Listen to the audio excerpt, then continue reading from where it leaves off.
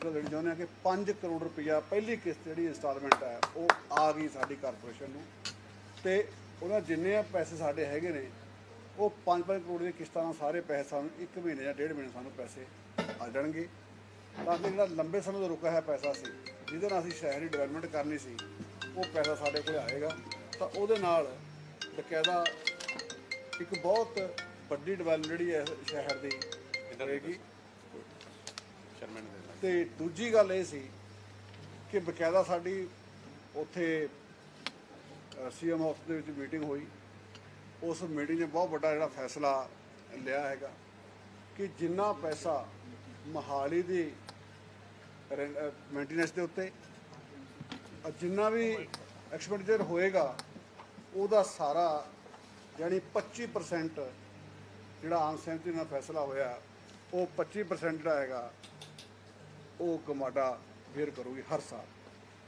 ਜੇ ਅਸੀਂ ਸਮਝ ਲਓ ਵੀ 100 ਕਰੋੜ ਖਰਚ ਕਰਦੇ ਹਾਂ ਤਾਂ 25 ਕਰੋੜ ਉਹਨਾਂ ਨੂੰ ਦੇਣਾ ਜੇ ਅਸੀਂ 200 ਕਰੋੜ ਖਰਚ ਕਰਾਂਗੇ ਤਾਂ 50 ਕਰੋੜ ਰੁਪਏ ਉਹਨਾਂ ਨੇ ਸਾਨੂੰ ਦੇਣਾ ਹੈ। ਇਹ ਸਾਨੂੰ ਇੱਕ ਬਹੁਤ ਵੱਡੀ ਜਾਣੀ ਕਿ ਇੱਕ ਐਸਓਪੀ ਕ ਜਾਂ ਪ੍ਰੋਟੋਕੋਲ ਬਣ ਜਾਣਾ ਜਿਹੜਾ ਕਿ ਰੈਗੂਲਰ ਹੋਏਗਾ, ਜਿਹੜਾ ਕਿ ਸਾਨੂੰ ਹਰ ਵਾਰ ਜਾ ਕੇ ਉੱਥੇ ਮਿੰਤਾ ਕਰਨੀਆਂ ਪੈਂਦੀਆਂ ਨੇ ਵੀ ਸਾਨੂੰ ਪੈਸੇ ਦਿਓ ਜੀ।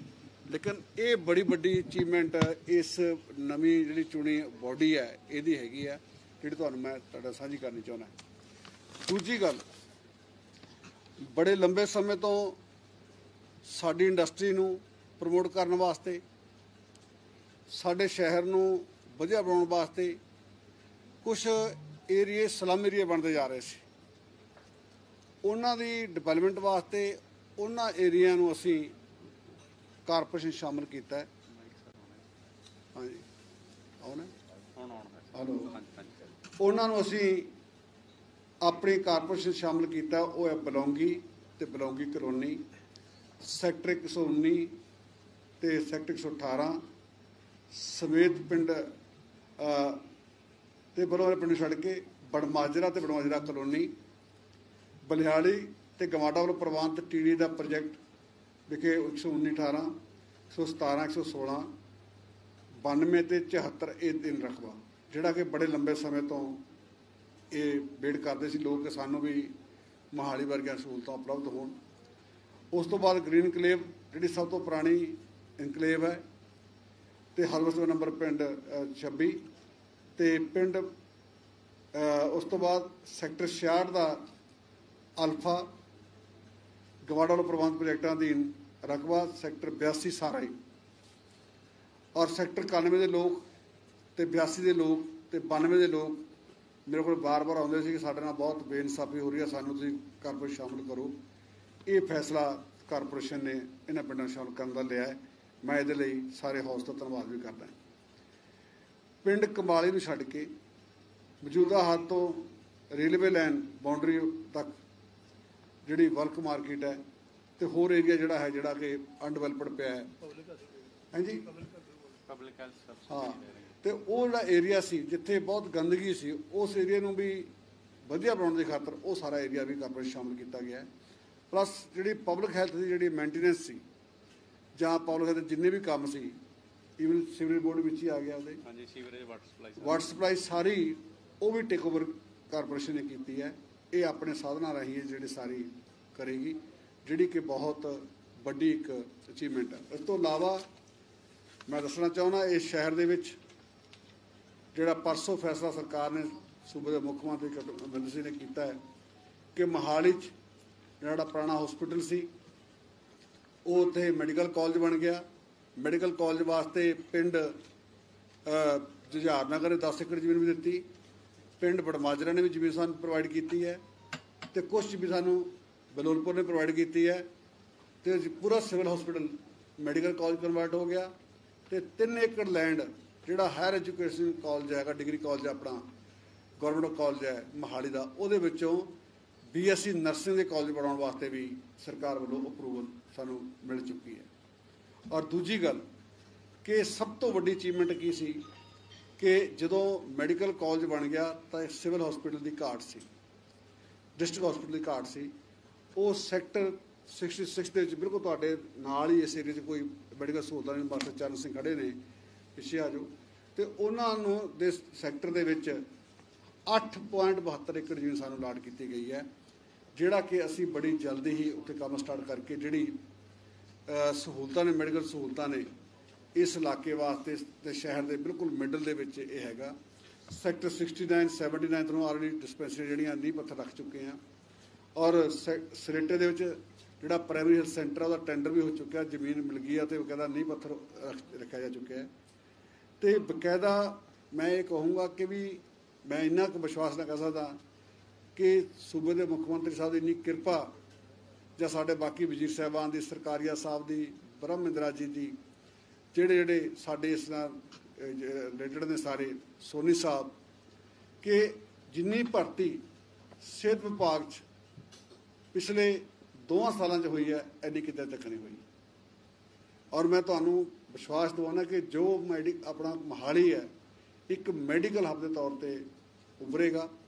ਔਰ ਬਕਾਇਦਾ ਇੱਥੇ ਆਯੂਸ਼ ਦਾ ਹਸਪੀਟਲ ਜਿਹੜਾ ਤੁਸੀਂ ਦੇਖਣਾ, ਦਿਆਲਪੁਰ ਦੇ, ਦਿਆਲਪੁਰਾ ਦੇ ਵਿੱਚ ਬਣ ਕੇ ਆਲਮੋਸਟ ਤਿਆਰ ਹੋ ਗਿਆ। ਇੱਕ ਆਰਡਰ ਜਿਹੜੇ ਕਿ ਐਬਨੋਰਮਲ ਬੱਚੇ ਹੁੰਦੇ ਨੇ, ਉਹਨਾਂ ਵਾਸਤੇ 79 ਦੇ ਵਿੱਚ ਵੀ ਆਲਮੋਸਟ ਬਣ ਕੇ ਤਿਆਰ ਹੋਣ ਵਾਲਾ ਹੈ। ਜਾਣੀ ਹਰ ਤਰ੍ਹਾਂ ਦੀ ਜਿਹੜੀ ਆਪਣੇ ਫੈਸਿਲਿਟੀ ਆ ਮੈਡੀਕਲ ਉਹ ਇੱਥੇ ਅਸੀਂ ਪ੍ਰੋਵਾਈਡ ਕਰਾਵਾਂਗੇ।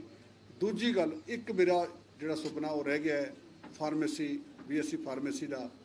ਉਹ ਵੀ ਆਉਣ ਵਾਲੇ ਕੁਝ ਦਿਨਾਂ 'ਚ ਮੈਂ ਲੱਗਿਆ ਹੋਇਆ ਇਸ ਕੰਮ ਤੇ, ਜਦੋਂ ਅਪਰੂਵਲ ਮਿਲ ਜਾਂਦੀ ਹੈ, ਤਾਂ ਬੀਐਸਸੀ ਫਾਰਮੇਸੀ ਕਾਲਜ ਵੀ ਮੋਹਾਲੀ 'ਚ ਬਣਾਇਆ ਜਾਊਗਾ, ਤਾਂ ਕਿ ਸਾਡੇ ਬੱਚਿਆਂ ਨੂੰ ਜਿਹੜੀ ਹਾਇਰ ਐਜੂਕੇਸ਼ਨ ਵਾਸਤੇ ਬਾਹਰਲੇ ਸ਼ਹਿਰਾਂ ਦੇ ਵਿੱਚ ਜਾਂ ਬਾਹਰਲੇ ਸਟੇਟ ਜਾਣ ਦੀ ਜ਼ਰੂਰਤ ਨਾ ਪਵੇ, ਤਾਂ ਉਹ ਬਕਾਇਦਾ ਸਾਨੂੰ ਇੱਕ ਵਧੀਆ ਪ੍ਰਾਈਸ ਦਾ ਜਿਹੜੀ ਜਿਹੜੀ ਕੰਸੈਸ਼ਨਲ ਫੀਸ ਦੇ ਉੱਤੇ ਸਾਨੂੰ ਐਜੂਕੇਸ਼ਨ ਮਿਲ ਸਕੇ ਸਾਡੇ ਬੱਚਿਆਂ ਨੂੰ। ਉਹ ਮੈਂ ਪੂਰਾ ਕਰ ਰਿਹਾ ਕਿ ਪ੍ਰੋਫੈਸ਼ਨਲ ਜਿਹੜੇ ਕੋਰਸ ਹੋਣਗੇ, ਕਿ ਜਿੰਨੇ ਸਾਡੇ ਇਸ ਮੈਡੀਕਲ ਕਾਲਜ ਦੀ ਡਿਮਾਂਡ ਹੋਏਗੀ ਤੇ ਜਿੰਨੇ ਹਸਪੀਟਲ ਮਹਾਲੀ ਤੁਸੀਂ ਦੇਖਿਆ ਹੋਣਾ ਕਿ ਪ੍ਰਾਈਵੇਟ ਹਸਪੀਟਲਾਂ ਦੀ ਵੀ ਬਹੁਤ ਵੱਡੀ ਚੇਨ ਆ ਇੱਥੇ। ਉਹਨਾਂ ਨੂੰ ਵੀ ਨਰਸਿੰਗ ਸਟਾਫ ਚਾਹੀਦਾ ਹੋਊ, ਉਹਨਾਂ ਨੂੰ ਫਾਰਮੇਸੀ ਅਫਸਰ ਚਾਹੀਦੇ ਹੋਣੇ ਆ।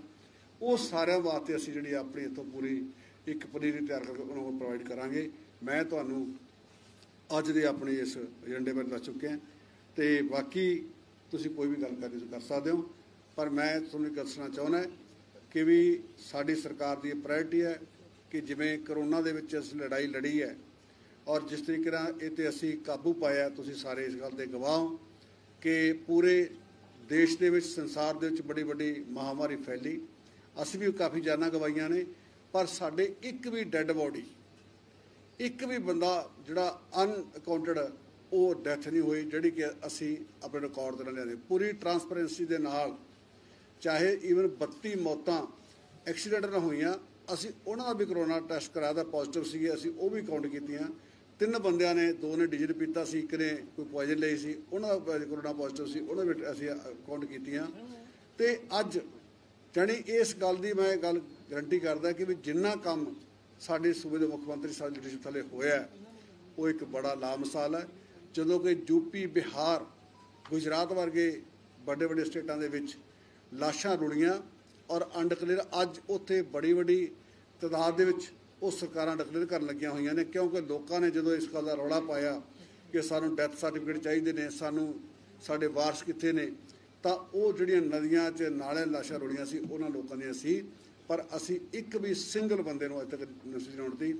ਭਾਵੇਂ ਸਾਨੂੰ ਆਪਣੀ ਇੰਡਸਟਰੀ ਜਦੋਂ ਆਕਸੀਜਨ ਦੀ ਬਹੁਤ ਵੱਡੀ ਘਾਟ ਸੀ, ਬੰਦ ਕਰਨੀ ਪਈ, ਪਰ ਅਸੀਂ ਆਪਣੀ ਇੰਡਸਟਰੀ ਨੂੰ ਬੰਦ ਕਰਕੇ ਲੋਕਾਂ ਦੀ ਜਿਹੜੀ ਲਾਈਫ ਸੀ ਨੂੰ ਅਹਿਮੀਅਤ ਦਿੱਤੀ ਕਿ ਪਹਿਲਾਂ ਲੋਕਾਂ ਦੀ ਜ਼ਿ- ਜ਼ਿੰਦਗੀ ਹੈ। ਉਸ ਤੋਂ ਬਾਅਦ ਸਾਰੇ ਵਪਾਰ ਨੇ, ਇਹ ਮੈਂ ਤੁਹਾਨੂੰ ਦੱਸਣਾ ਚਾਹੁੰਦਾ। ਥੈਂਕ ਯੂ ਹਾਂ, ਦੂਜੀ ਗੱਲ ਮੈਂ ਦੱਸਣਾ ਚਾਹੁੰਦਾ ਵੀ ਅੱਜ ਕੁਦਰਤੀ ਸਾਡੇ ਇੱਥੇ ਗਗਨ ਜੀ ਸ਼ਾਇਦ ਪਹੁੰਚ ਗਏ ਨੇ ਤੇ ਇਹਨਾਂ ਨੇ ਸਾਨੂੰ ਫੋਗ ਮਸ਼ੀਨਾਂ ਦੋ ਦਿੱਤੀਆਂ ਨੇ ਫ੍ਰੀ ਆਫ ਕਾਸਟ ਜਿਹੜੀਆਂ ਕਿ ਸਾਡੀ ਜਿਹੜੀ ਆ, ਉਹ ਤੁਹਾਨੂੰ ਇੱਕ ਇੱਥੇ ਸ਼ਹਿਰ ਦੇ ਵਿੱਚ ਕੰਮ ਕਰੇਗੀ ਤੇ ਇੱਕ ਪਿੰਡੂ ਦਿਹਾਤੀ ਏਰੀਆ ਦੇ ਵਿੱਚ, ਜਿੱਥੇ ਸਾਡਾ ਪਿੰਡਾਂ ਦੇ ਵਿੱਚ ਮੱਛਰ ਦੀ ਜ਼ਿਆਦਾ ਭਰਮਾਰ ਹੈਗੀ ਆ। ਉਹਨੂੰ ਅਸੀਂ ਖੁਦ ਆਪਰੇਟ ਕਰਾਂਗੇ, ਬਕਾਇਦਾ ਸ਼ਹਿਰ ਇੱਥੋਂ ਵਾਲੀ ਜਿਹੜੀ ਆ ਉਹਦੀ ਸਾਰੀ ਮੈਨੇਜਮੈਂਟ ਜਿਹੜੀ ਹੈ, ਉਹ ਕਾਰਪੋਰੇਸ਼ਨ ਦੇ ਕੰਟਰੋਲ ਥੱਲੇ ਹੋਏਗੀ। ਔਰ ਦੂਸਰਾ, ਤੁਸੀਂ ਜਿਹੜੀ ਗੱਲ ਕੀ ਕਰਦੇ ਸੀ? ਹਾਂ ਵੈਕਸੀਨ ਦੀ ਗੱਲ ਹੈ। ਮੈਂ ਇਹਨੂੰ ਬੜਾ ਅਫਸੋਸ ਹੈ ਇਸ ਗੱਲ ਦਾ ਕਿ ਜਿੱਥੇ ਜਿੱਥੇ ਬੀਜੇਪੀ ਦੀ ਸਰਕਾਰਾਂ ਹੈਗੀਆਂ ਨੇ, ਉਹਨਾਂ ਸਰਕਾਰਾਂ ਨੇ ਕਈ ਦਿਨ ਆਪਣਾ ਬੜਾ ਬੜਾ ਰਿਕਾਰਡ ਕਿ ਅਸੀਂ ਅੱਜ 5.5 ਲੱਖ ਦੀ 6 ਲੱਖ ਲਾਤੀ 17 ਲੱਖ ਲੱਗੀ ਐਮਪੀ ਦੇ ਚ ਲੱਗੀ ਜਾਂ ਗੁਜਰਾਤ ਚ ਲੱਗੀ। ਪਰ ਮੈਂ ਪੁੱਛਣਾ ਚਾਹੁੰਦਾ, ਸਾਨੂੰ ਜਿਹੜੀ ਵੈਕਸੀਨ ਹੈ, ਅਸੀਂ ਵੀ ਇੱਕ ਦਿਨ ਦੀ 5 ਲੱਖ ਵੈਕਸੀਨ ਲਗਾਉਣ ਦੇ ਸਮਰੱਥ ਹਾਂ ਦੇ ਰੇਟ 'ਚ ਪਰ ਸਾਨੂੰ ਮਿਲਦੀ ਕਿੰਨੀ ਆ? 50000 60000 ਹੈਂਡ ਟੂ ਮਾਊਥ ਅੱਜ ਪੰਜਾਬ ਦਾ ਬੱਚਾ ਬੱਚਾ ਵੈਕਸੀਨ ਲਗਾਉਣ ਨੂੰ ਤਿਆਰ ਹੈ। ਔਰ ਇਹ ਵੀ ਦੱਸਣਾ ਚਾਹੁੰਦਾ ਕਿ ਮਹਾਲੀ ਨੇ ਸਮੁੱਚੇ ਪੰਜਾਬ 'ਚ ਨੰਬਰ ਫਸਟ ਲਿਆ ਵੈਕਸੀਨ ਦੇ ਵਿੱਚ ਵੀ। ਔਰ ਈਵਨ ਸੈਕੰਡ ਡੋਜ਼ ਵਿੱਚ ਵੀ ਮਹਾਲੀ ਫਸਟ ਹੈਗੀ ਹੈ। ਪਰ ਪੂਰੇ ਪੰਜਾਬ 'ਚ ਇਸ ਵੇਲੇ ਸਾਰੇ ਲੋਕ ਇਸ ਗੱਲ ਲਈ ਪੂਰੇ ਉਹ ਨੇ ਕਿ ਅਸੀਂ ਤਾਬ ਲੈਣੇ ਕਿ ਸਾਨੂੰ ਜਲਦੀ ਜਲਦੀ ਵੈਕਸੀਨ ਲਾਈ ਜਾਏ ਤਾਂ ਕਿ ਅਸੀਂ ਆਪਣੇ ਆਪ ਨੂੰ ਸੇਵ ਕਰ ਸਕੀਏ। ਥੈਂਕ ਯੂ ਸਰ ਐਲੀਗੇਸ਼ਨ ਲੱਗ ਰਿਹਾ ਸਰਕਾਰ ਦੇ ਉੱਤੇ। ਹੁਣ ਪਾਵਰ ਕੱਟਸ ਨੂੰ ਲੈ ਕੇ ਕਿਹਾ ਜਾ ਰਿਹਾ ਸੀਗਾ ਪਹਿਲਾਂ ਹੀ ਬਿਜਲੀ ਮਹਿੰਗੀ ਹੈ। ਦੇਖੋ ਮੈਂ ਤੁਹਾਨੂੰ ਇਹ ਗੱਲ ਦੱਸਣੀ ਚਾਹੁੰਦਾ ਤੁਸੀਂ ਬੜੀ ਵਧੀਆ ਗੱਲ ਕੀਤੀ ਹੈ ਮੈਂ ਕਰਨੀ ਸੀ ਵੈਸੇ ਤਾਂ ਕੋਈ ਕਰੂ ਫੇਰ ਕਰਾਂਗੇ। ਅੱਜ ਸਾਡੇ ਕੋਲੇ 13000 ਮੈਗਾਵਾਟ ਦੀ ਕਪੈਸਿਟੀ ਦੀ ਸਮਰੱਥਾ ਸਾਡੇ ਪੰਜਾਬ ਦੀ ਹੈਗੀ ਹੈ, ਜਿਹੜਾ ਇਨਫਰਾਸਟ੍ਰਕਚਰ ਹੈਗਾ। 7000 ਮੈਗਾਵਾਟ ਅਸੀਂ ਬਾਹਰੋਂ ਪਰਚੇਜ ਕਰ ਰਹੇ ਹਾਂ ਜਿਹੜੀ ਆਪਣੀ। ਔਰ ਤਲਵੰਡੀ ਸਾਬੋ ਜਿਹੜਾ ਯੂਨਿਟ ਸੀ, ਉਹ ਨੁਕਸ ਪੈ ਗਿਆ, ਕਾਫੀ ਵੱਡਾ। ਪਰ ਕੁਦਰਤੀ ਕਰੋਪੀ ਵੀ ਹੈ ਕਿ ਬਰਸਾਤ ਨਹੀਂ ਹੋਈ।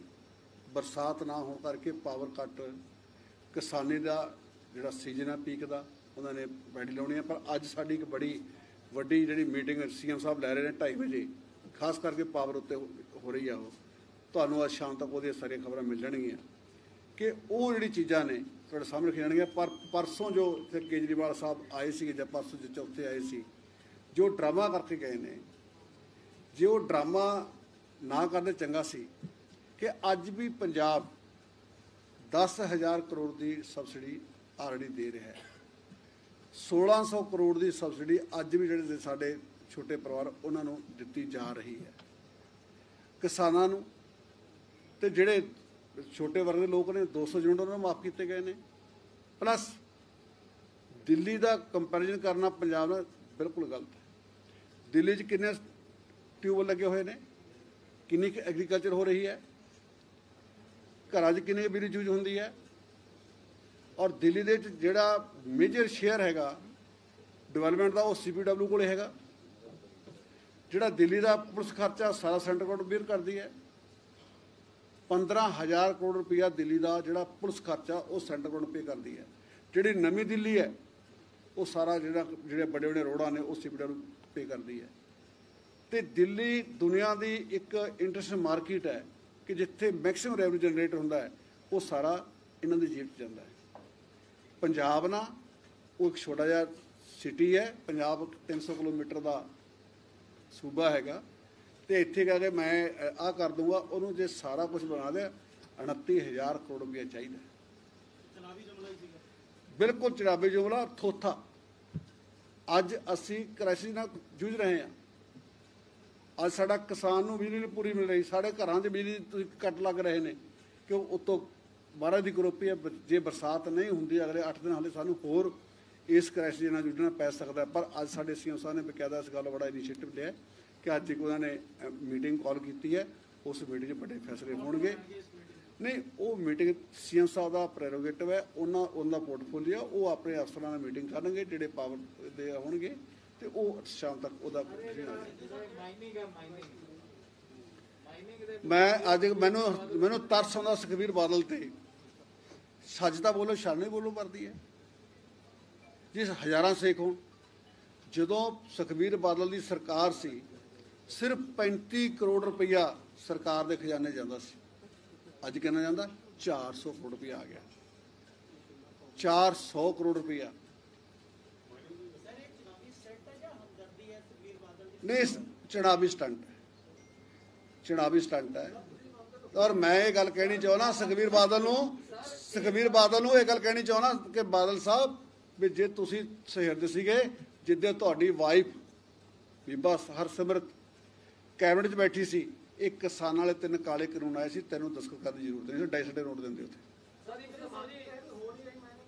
ਹਾਂਜੀ ਨਹੀਂ ਨਹੀਂ ਨਹੀਂ ਮੈਂ ਮੈਨਿੰਗ ਨਹੀਂ ਹੋ ਰਹੀ ਮੈਨਿੰਗ ਹੋ ਰਹੀ ਹੈ ਬਕਾਇਦਾ ਰੈਗੂਲਰਿਟੀ ਜਿਹੜੀ ਅੱਜ ਤੁਸੀਂ ਜਿੱਥੇ ਕੱਲ ਗਿਆ ਸੀ ਉਹ ਉਹ ਅੱਜ ਸੁਣੋ ਅੱਜ ਅਖਬਾਰ ਦੇ ਟ੍ਰਿਬਿਊਨ ਦੇ ਛਪੀ ਉਹ ਆਲਰੇਡੀ ਅਲਾਟਡ ਜਿਹੜੀ ਖੱਡ ਮੈਂ ਕਹਿੰਦਾ ਜਿੱਥੇ ਵੀ ਹੋਵੇ ਵੀ ਜਿੰਨਾ ਰੈਵਨਿਊ ਜਨਰੇਟ ਸਾਡੀ ਸਰਕਾਰ ਨੇ ਕੀਤਾ ਇਹਦੇ ਉੱਤੋਂ ਪਰ ਲੇਕਿਨ ਜਿਹੜਾ ਇਲੀਗਲ ਕਰੂਗਾ ਇਲੀਗਲ ਕਰੇਗਾ ਉਹਦੇ ਖਿਲਾਫ ਕਾਰਵਾਈ ਕਰਾਂਗੇ ਔਰ ਕਰਦੇ ਰਹਾਂਗੇ ਮਾਰਚ ਮਹੀਨੇ ਤੱਕ ਇੱਕ ਮਿੰਟ ਇੱਕ ਮਿੰਟ ਇੱਕ ਮਿੰਟ ਇੱਕ ਮਿੰਟ ਮਾਰਚ ਮਹੀਨੇ ਤੱਕ ਸਰ